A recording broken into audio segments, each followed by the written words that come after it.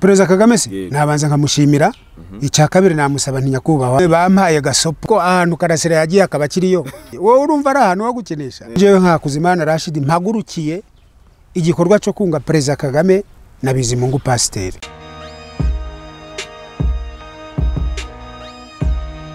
inshuti bakunzi b'imbarutsa demokarasi reka nongere kubifuriza kugira ibihe byiza. Aho muri hatandukanye tubahaye ikaze hano ku mbarutsa demokarasi.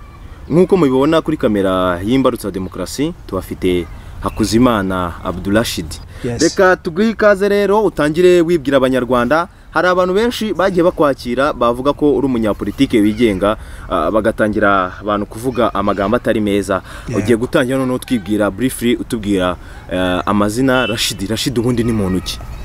Ngo nitwa hakuzimana icyo ni ikinyarwanda abdul bisobanura biva kuri abdu.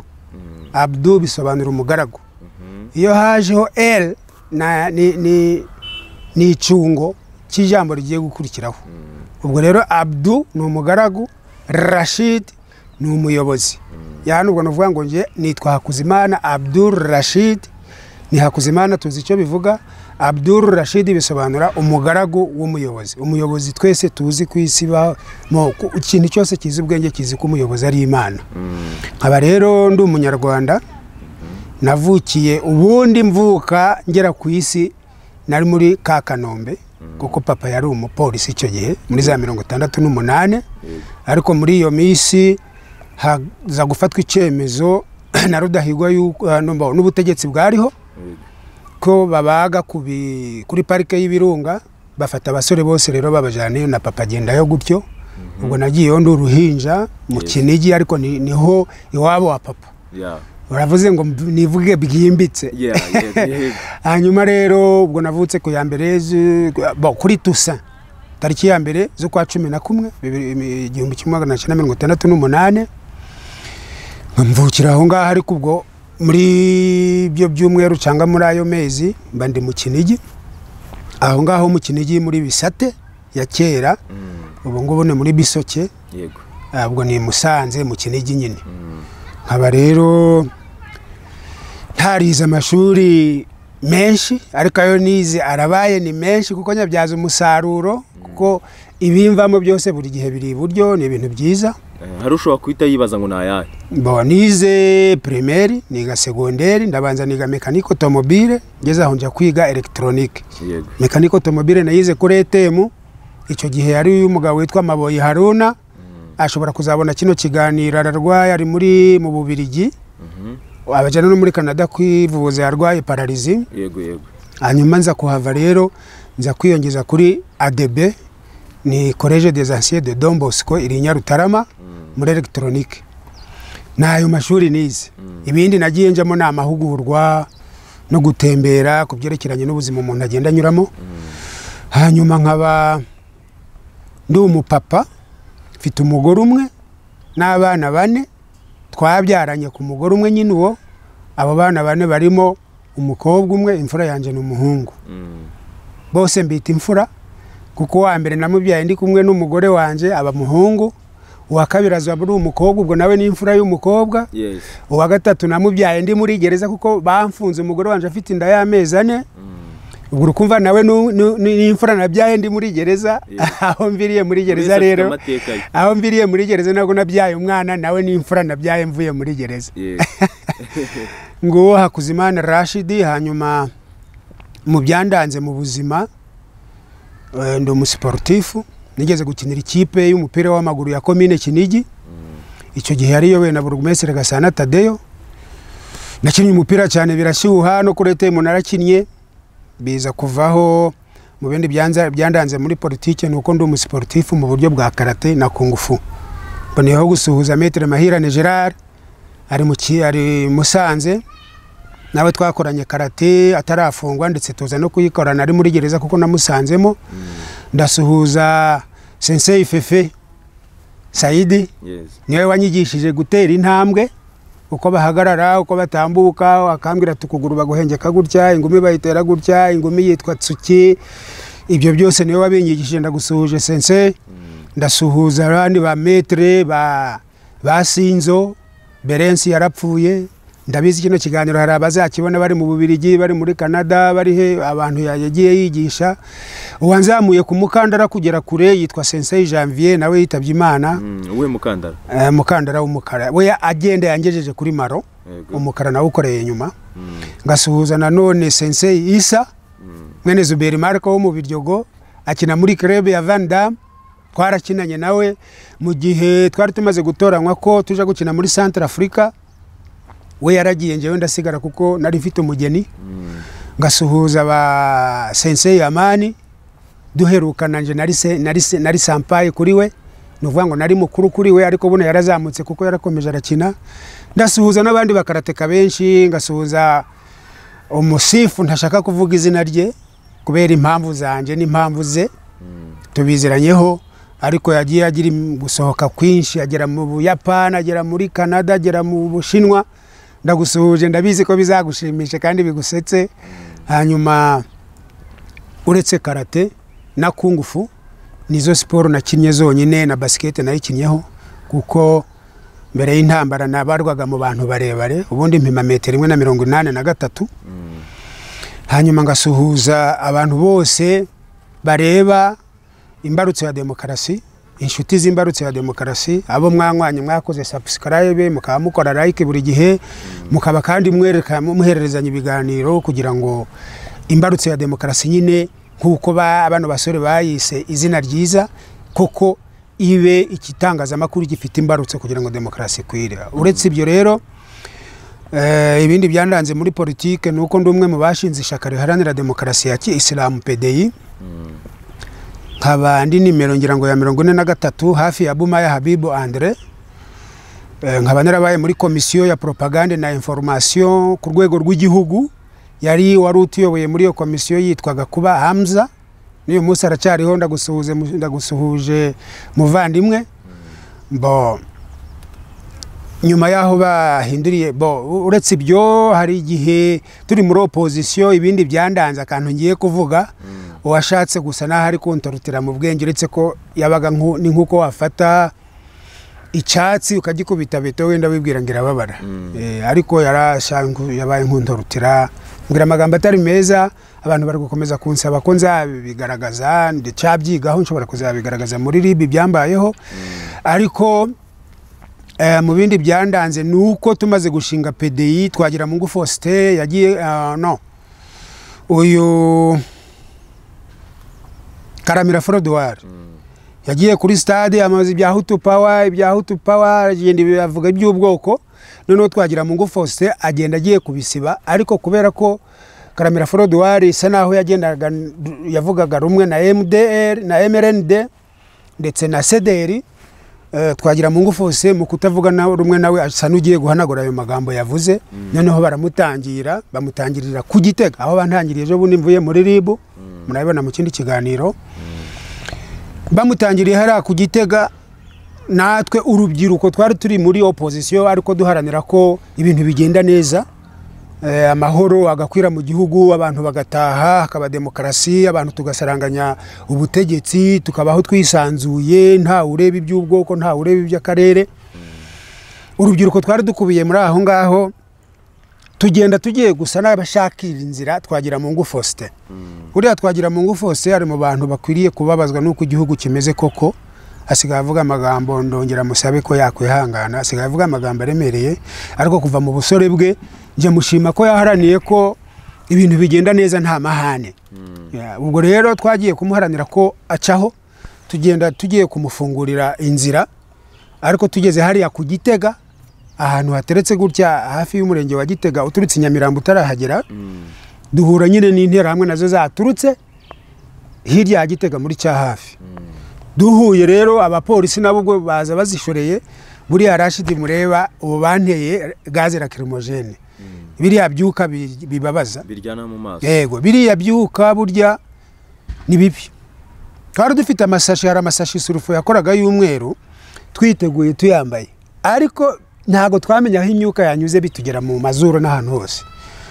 Ariko biza kuba ngombwa ko njye nk'umuntu wari umunyepolitike ndacurika hasi hari umuntu twari turi gukorana arirukanka wari ufite imodoka aja guca ku kimisagara twagira ngo bamunyuze nyabugogo aca ku kimisagara nyakabanda ahinguka kuri stade mu gihe abandi bari ba- twabazubaje bari aho ngaho. Iyo umuntu rero w'umuvandimwe iyo umuntu yicaye mu mafaranga aturuka mu baturage agahagarara cyangwa akicara cyangwa kari mu kimodoka ngo rashidi ngo mfite ingengabitekerezo ya jenoside. Nyine ndamureba nkavuga ni basi nyine tu. Ah, ah, uga- wanareba neza ugasanga atari ahari yari ahantu tutazi. Ariko jewe ibyo na- nabigiyemo ndi kukubwira ibyandanze kuko wavuze uti tubwire uburyo bwimbitse. Bon. Uretse ibyo nanone hari igihe umuntu witwa rugenero uri muri amerika ndagusuhuje muvandimwe. Nyine youtube yaraduhuje umenya ko nkiriho nawe uracyariho uri muri amerika. Ni umuntu wigeze no ni umunyamakuru wigeze no gukora kuri televiziyo y'u rwanda. Tugiye gukora mitingi ya pdi ya mbere kuri stade regional nyamirambo. Hari interahamwe zari zaturutse kicukiro. Ziza kudutangira. Eh, twe badusuzugura ngo turi batoya ishaka ridakomeye ry'abaswayire mwene ibyo ngibyo.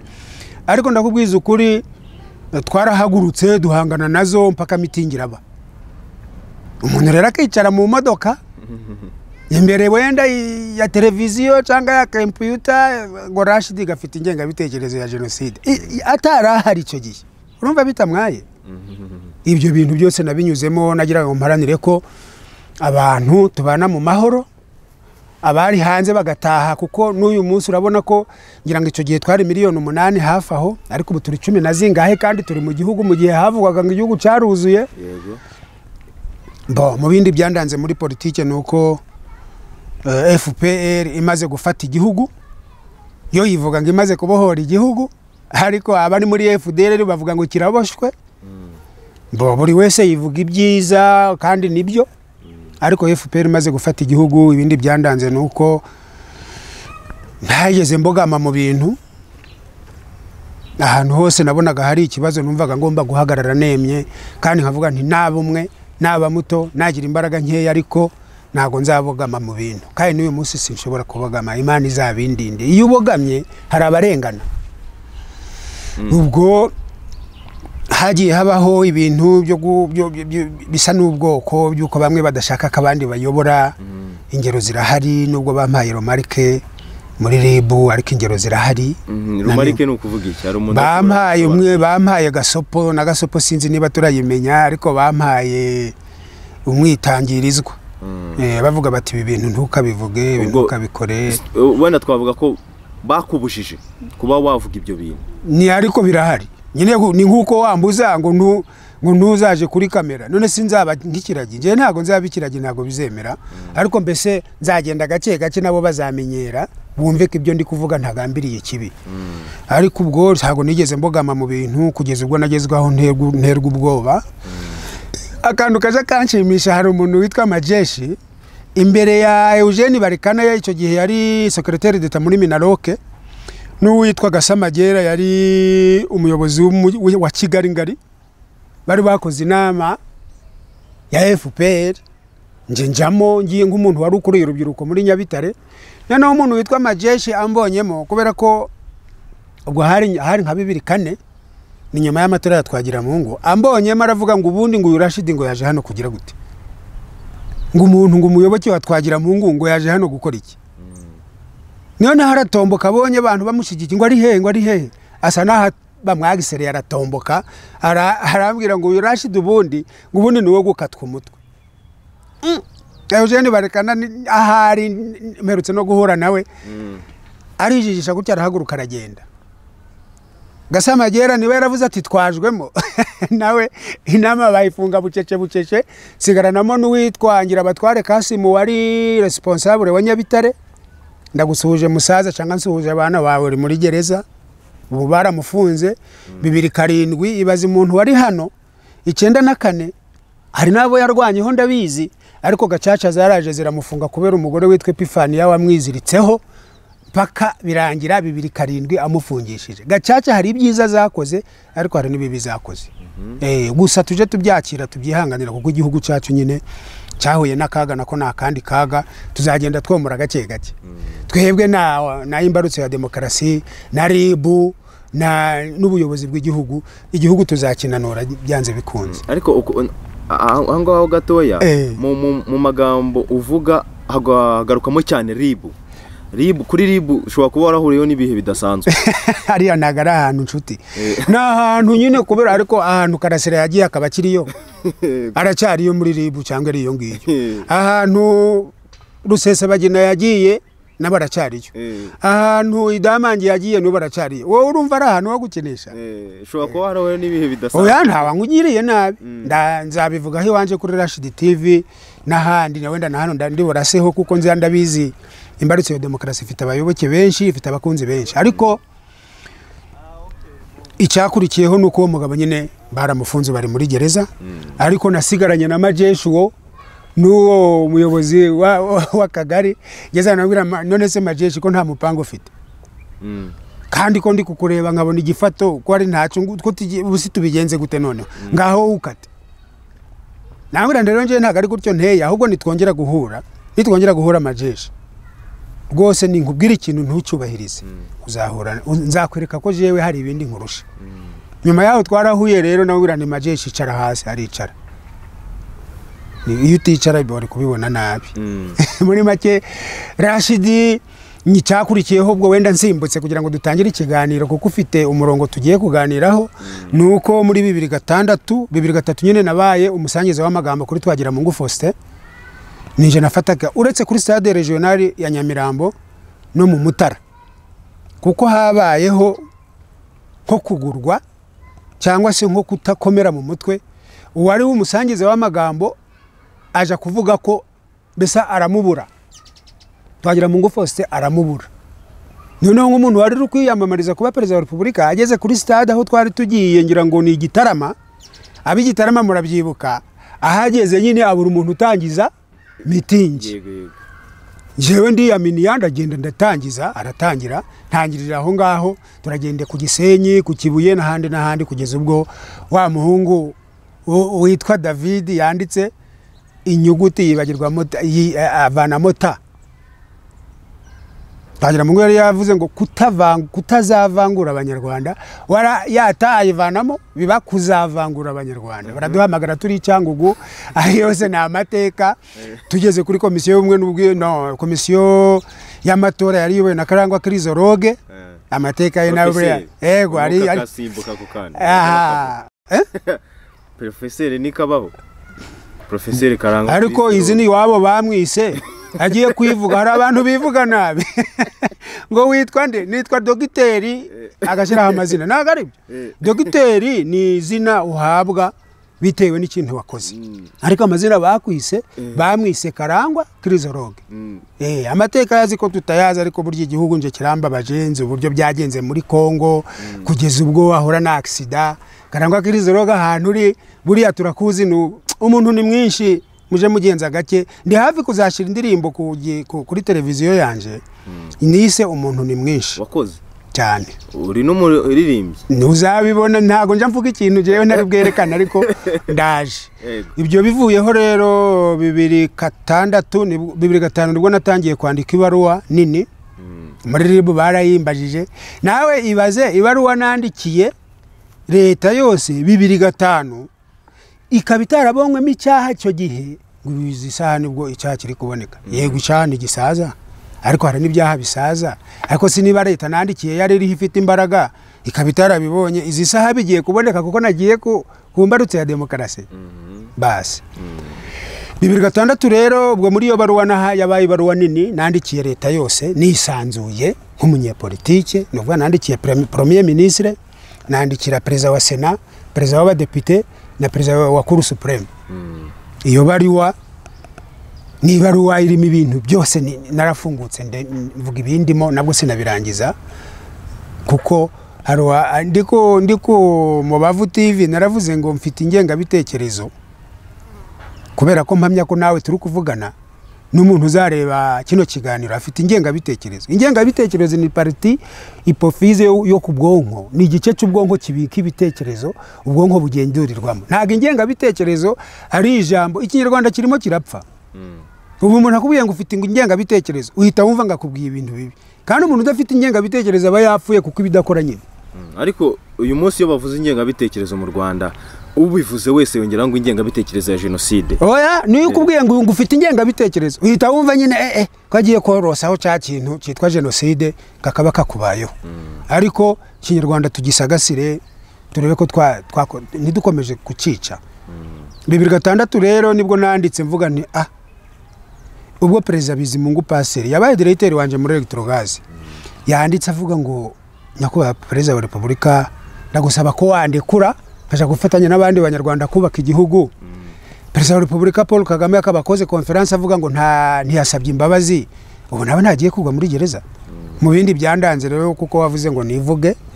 Njyewe ntabwo nzivuga bya bindi ngo ndagushahuye ngo ndagira gute ngo ngaramukata umutwe ngaramubagira ibisiga ngo impyisi ze ah, ah. Ibyo- ikivugo. icyo ibyo bintu navuze ko ari umuco mubi. Uwo muco niba ari wo ushaka kugaruka. Ntabwo ndi kumwe n'abashaka kubigarura. Njye kwivuga kwanjye ni uko ikindi kivugo mfite gikomeye ni uko nahagurutse.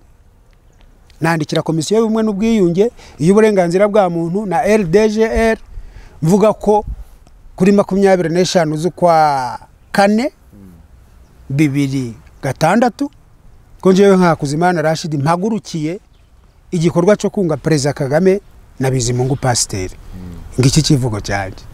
Ngo Hakuzimana Rashid ubwo nyuma y'aha ngaha ibindi bi- biri ku ma YouTube channel wenda uragenda umbaza. Ese waje kubunga?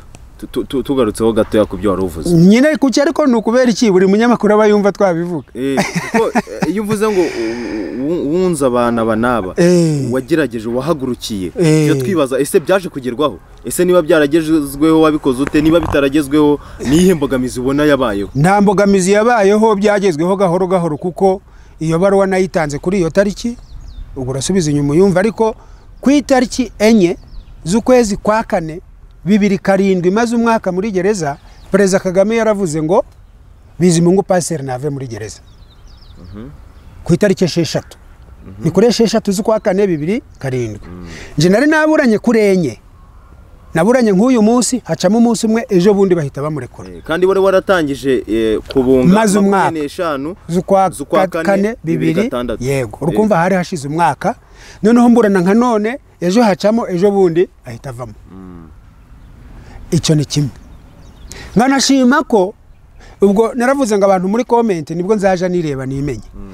Komenti uyu munsi ndireba nkavuga ngo rashidi ni uwuhe? Nkabibona nsomye ziriya komenti abasomyi bacu cyangwa abakurikira ibiganiro bashyiraho. ariko noneho kuba narahuje igitekerezo n'umugambi na bill clinton wabaye perezida wa leta zunze ubumwe za amerika kuko uribuka ko yaje ino nawe abwira ndetse byari biri no muri gahunda zo kugera kuri gereza nkuru ya kigali peseka dizinefu satarante nsaba nongere nsabe gaturika iriya gereza bagiye kuguha njyewe ntabwo mbishyigikiye.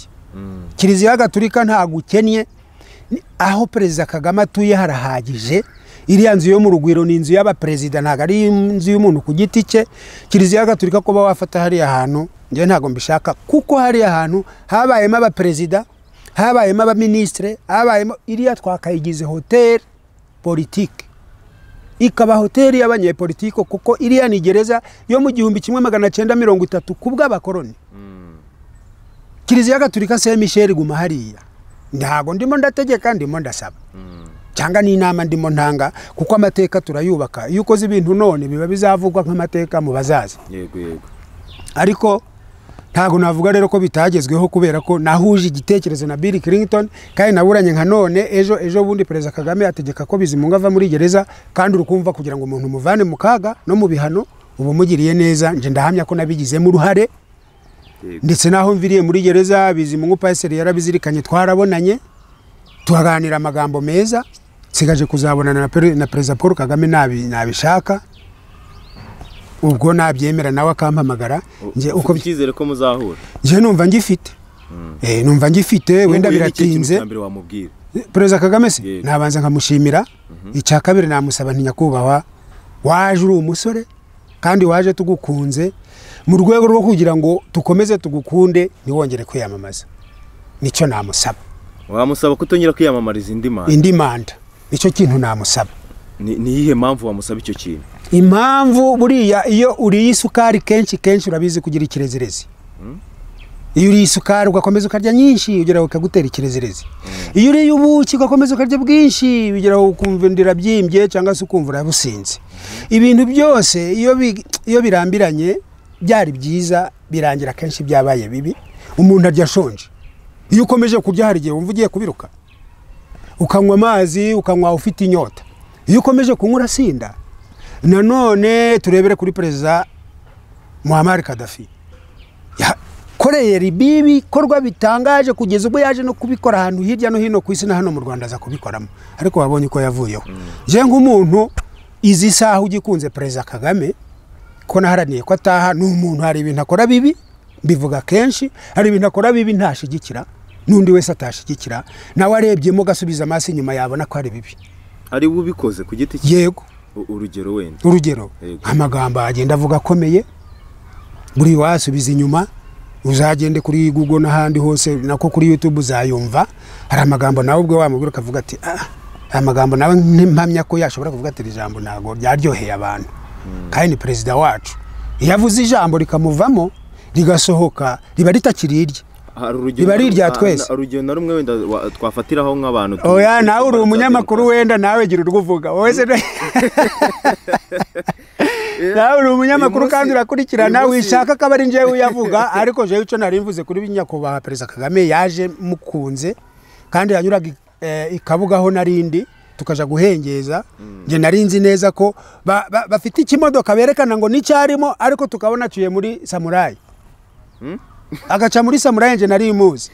Eh, ariko nabwo irinzwe. Eh, rero navuga ko icyo namubwira cya mbere muri ibyo n'ibyo bintu bibiri nabanza nkamushimira. Icya kabiri namusaba ko yaba arekeye aho ibindi byo ni ibintu byoroshye. Ntabwo namubwira ngo mpa amafaranga kuko ngize amahirwe nkabonana nawe sinahava ubusa. Nabwira ngo mpa imodoka kuko ngize amahirwe yabyibwiriza ibyo. Ariko ibyo ni ibintu bikomeye numva namusaba namubwira. Yego.